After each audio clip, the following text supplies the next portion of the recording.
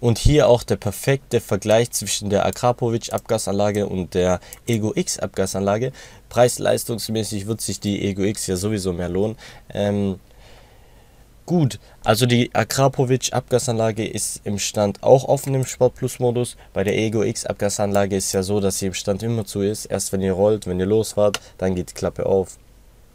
Finde ich ein bisschen besser. Natürlich könnt ihr da nicht im im Stand einen Soundcheck geben oder so. Aber ähm, ja, dann kann euch die Polizei auch nichts oder so in der Polizeikontrolle, weil die Klappe auf jeden Fall zu ist. Ähm, gut, ich würde sagen, wir geben uns einfach mal das Video. Kaltstart.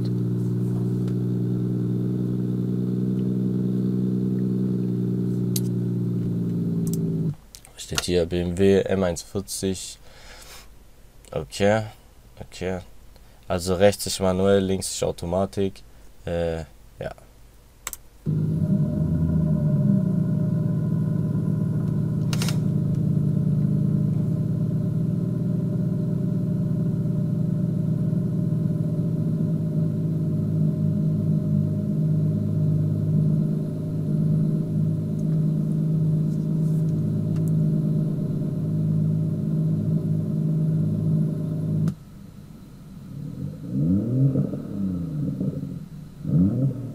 Okay, also hier Komfortmodus, Akrapovic, Klappe ich offen. Fragezeichen. Also vielleicht wissen die selber nicht, ob es offen oder zu ist.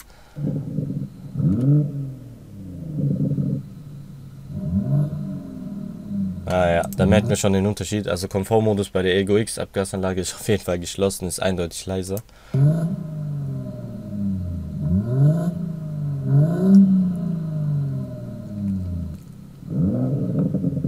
Ah, okay. Also Akrapovic, Klappe ich auf, wieder der linke. Ähm, hört sich schon mal gut, echt gut an.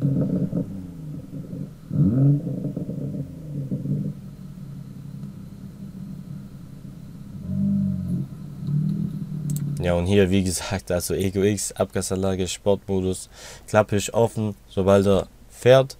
Ähm, deswegen muss er jetzt ein bisschen zurück und dann nach vorne.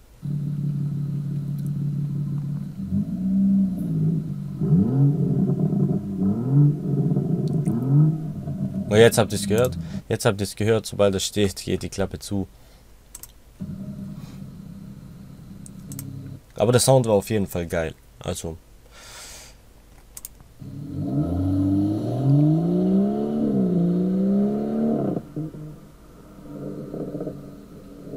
Okay, wie geil.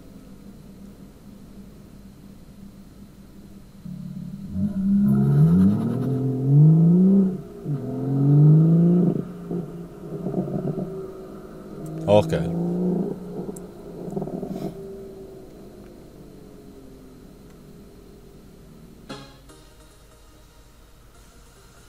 Okay, jetzt noch hier irgendwelche Informationen zu seinen Felgen.